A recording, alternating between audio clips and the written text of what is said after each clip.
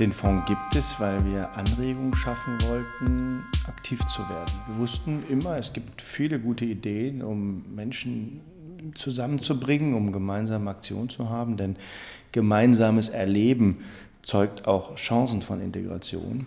Äh, und wir wollten den Vereinen, die da auch Ideen haben, die Möglichkeit geben, ein bisschen Anschubfinanzierung zu bekommen. Ja, wir sind die Pestalozzi-Schule, eine Förderschule mit Schwerpunkt Lernen in Langenhagen. Und das ist die Abteilung Welt der Bücher, eine Schülerbücherei von Schülern für Schüler. Dann können sich Schüler Bücher ausleihen oder hier lesen. Da gibt es Kinder, die können nicht lesen und schreiben. Müssen wir nur für die vorlesen. Zweiter, dritter Klasse können die ein bisschen lesen. Wir helfen denen sogar. Ja, wir haben einige Schüler, die gehen ins Altenheim, ins nahegelegene Altenheim und lesen mit den alten Leuten. Die freuen sich doch richtig drüber, wenn äh, wir ihnen was vorlesen. Dann fragen die sofort, ob wir nächstes Mal wiederkommen. Ich bin auch erst seit zwei Jahren hier in Deutschland. Ich kann auch nicht so gut lesen und schreiben. Deswegen mache ich mit denen auch, dann lerne ich auch das. Das Lesen hier wird schon besser. Und ja. Also, weil hier muss man viel lesen. Auch die Bücher, die muss man schon kennen. Also ich lese jetzt viel mehr irgendwie. Klappen tut richtig gut. Also dafür braucht man auf jeden Fall Geld von außen, weil diese Menge an Büchern wäre nicht möglich gewesen, die aus eigenen Mitteln zu finanzieren. Die helfen mir, ich helfe denen auch so.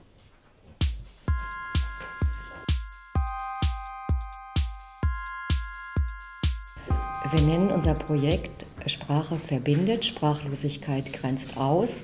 Es ist ein Sprachpatenprojekt. Ich äh, habe etwa ein halbes oder dreiviertel Jahr lang ähm, mit einer irakischen christlichen Familie äh, Deutsch gelernt, bis dann ähm, Volkshochschulkurse ihnen ermöglichten, dort professionellen Unterricht zu bekommen. Und deswegen ging das erst nur so über Begriffe und Zeichensprache.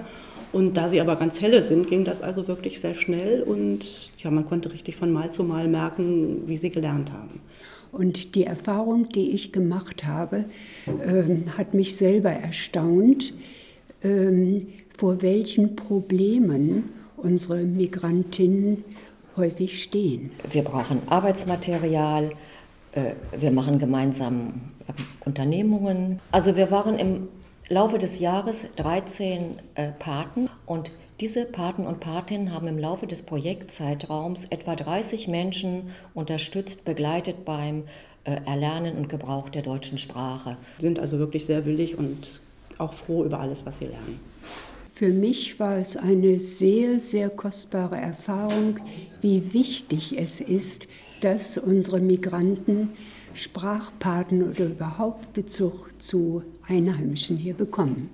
Das heißt, wenn wir wissen, dass wir zunehmend auch ein Einwanderungsland werden, also mit zu immer wieder neuen Menschen, die hierher kommen, klarkommen müssen, dann müssen wir eine Kultur entwickeln, die es möglich macht, dass die, die neu kommen, lernen, wie geht das hier eigentlich? Was, was sind die Spielregeln, um auch klarzukommen? Um umgekehrt, wir müssen eine Gesellschaft haben, die sagt, oh toll, wir kriegen auch neue Impulse. Denn es ist auch positiv, wenn immer wieder auch neue Ideen dazukommen.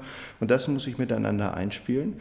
Und für uns in der Region bedeutet es auf mittelfristige Sicht auch, dass wir ein Klima haben, in dem Menschen kommen wollen, weil wir wissen, dass über, wie das so schön technisch heißt, natürliche Reproduktion, also wir haben nicht mehr genug Geburten, darüber wird es nicht funktionieren.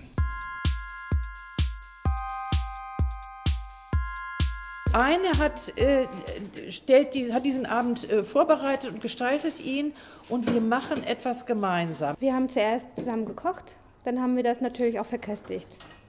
Und mir hat das viel Spaß gemacht hier, auch die Menschen, die Frauen äh, und ihre Geschichten äh, kennenzulernen. Ja, es war sehr multikulturell. Sie haben sich gegenseitig verstanden. Sie haben gemerkt, dass es auch andere Frauen in ihrer Lage gibt. Integration for me here is learns to Deutsch miteinander a so early learn. Learns to andere Kultur und wie ähnlich mit du und der andere. Nicht nur mit, mit Kultur, und also mit Kochen. Das Projekt hat den Frauen sehr viel gegeben. Sie waren halt nicht mehr alleine, sie kamen halt aus sich heraus. Durch das Geld der Region war es möglich, die Zugangsschranke so niedrig zu halten, dass auch jeder daran teilnehmen kann, ohne sich zu fragen, kann ich es mir leisten. Ich hoffe, ähm, dass das weiter gefördert wird, damit die Frauen eben halt aus der Isolation von zu Hause auch rauskommen. Es hat den Sinn bei weitem übertroffen, finde ich. Also das Projekt hat den Frauen sehr viel gegeben. Integration durch Kultur, kulturelle Integration. Ziel war, dass die Jugendlichen auch merken, dass kulturelle Praktiken, die früher äh, praktiziert wurden, heute überhaupt nicht mehr plausibel sind. Wir haben etwas über unsere Kultur gelernt. Sie merken, dass, dass sie nicht jede kulturelle, unsinnige kulturelle äh, Praktik die in ihrer Herkunftskultur besteht, dass sie das weiterführen müssen. Also wir haben viele Proben gemacht, wir haben getanzt, wir haben gesungen, wir haben uns äh, für den ersten Auftritt vorbereitet. Einfach überhaupt erstmal zu wissen, was ist deine eigene Kultur und dann das den anderen Leuten beizubringen. Und vielleicht auch Leuten, die ihnen vorschreiben möchten, dass sie so leben müssen, dass sie, dass sie das begründen können, warum sie nicht so leben müssen. Ich wusste manche Sachen auch nicht. Es ist wichtig, dass sowas gefördert wird, weil in den Medien sehr große Vorurteile bestehen, dass die Jugendlichen in der Lage sind, sich dagegen zu wehren. Ich habe mehr erfahren, mehr gelernt über unsere Kultur. Das Geld der Region war sehr wichtig für uns, weil sonst hätten wir nicht die finanzielle Kraft gehabt, so ein Projekt zu realisieren. Integration bedeutet jedenfalls nicht Anpassung oder nicht allein Anpassung, sondern Integration bedeutet natürlich, dass man sich in einem Umfeld zurechtfindet. Was ich mir wünsche, ist, dass eigene Kultur durchaus erhalten bleibt, dass man aber auch die andere Kultur akzeptiert. Also, äh, dass wir, wir müssen miteinander leben, friedlich miteinander leben, gemeinsam miteinander leben, bedeutet eben immer auch Respekt vor dem Gegenüber, den man braucht und bedeutet auch, dass man auch Anderssein anerkennt und umgekehrt ist es natürlich so, dass eine Gesellschaft ein Basisregelwerk hat, in dem, in dem sie sich verhält. Das Projekt äh, hieß Vorbilder, was du kannst, kann ich auch. Ich habe andere Leute interviewt. Menschen mit Migrationshintergrund, die zum Beispiel Anwalt oder Arzt geworden sind. Also ich fand das so schön, was die, also was die Leute da erzählt haben, was die alles so gemacht haben, wie sie das dahin geschafft haben. Die haben sich da immer reingehängt. Da lernen junge Menschen, wie sie sich eben mit ihrem Migrationshintergrund wohler fühlen können oder wie sie bestimmte Sachen anders machen können. Und daraus wollen wir jetzt eine Broschüre machen. Also die Jugendlichen haben da hm, nicht nur gelernt, wie man Texte aufbereitet, sondern auch ihr Deutsch verbessert und ihre schulischen Leistungen teilweise erheblich verbessert. Ne? Und das wäre so sonst nicht möglich gewesen. Es hat mir auch viel Spaß gemacht. Also durch diesen Projekt bin ich auch offener geworden. Also ich habe gelernt, auf Menschen zuzugehen. Und auch im Unterricht konnte ich das anwenden, weil ich neue Wörter dazugelernt habe und auch bessere Sätze formulieren konnte. Integration ist daran, dass eben junge Menschen lernen, was könnten die Stolpersteine sein auf dem Wege zum Beruf. Die hatten ein Ziel. Ich fand das gut. Und ich glaube, manche davon, die haben sich das auch so im Kopf so reingebracht und haben gesagt, das wollen wir auch machen, das finden wir toll. Zum Beispiel ich auch.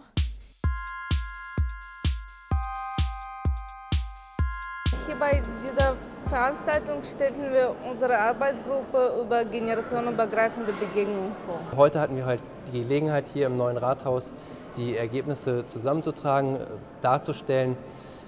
Es ermöglicht uns auf jeden Fall als Multiplikator zu dienen, ähm, der Bevölkerung weiterzutragen, was Migranten für Potenziale haben, was wir erreichen wollen und vor allen Dingen, was wir fordern für die Zukunft.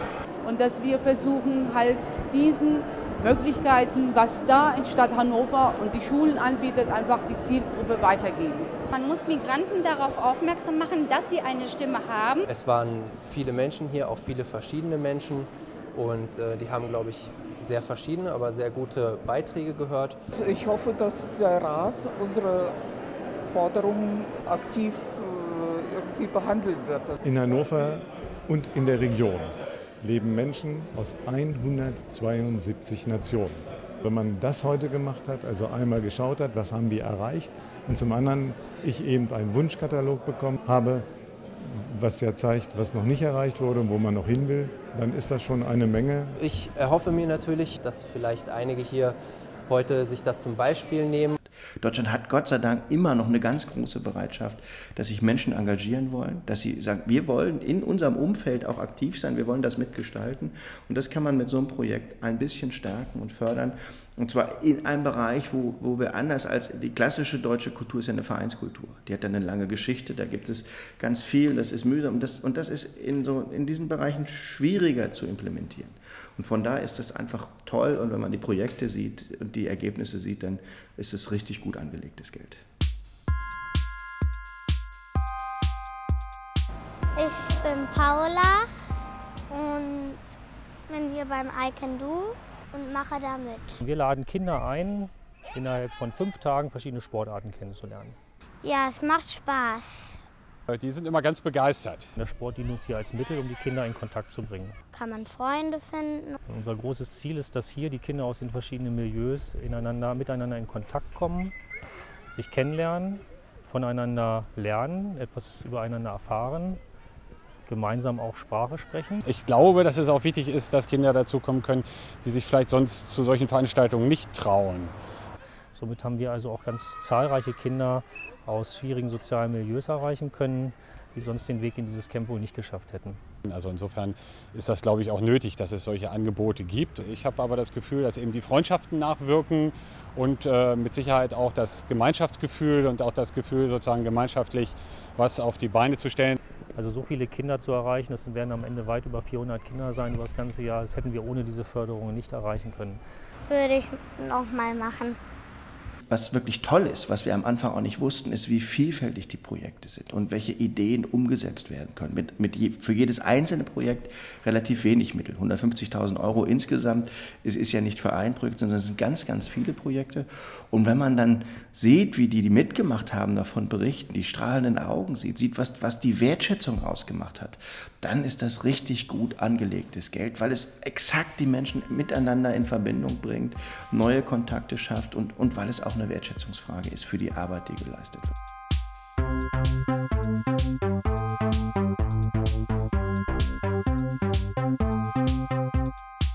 Ich möchte die deutsche Kultur auch mit vielem anderen zusammen verbinden und nicht nur mit Bockwurst.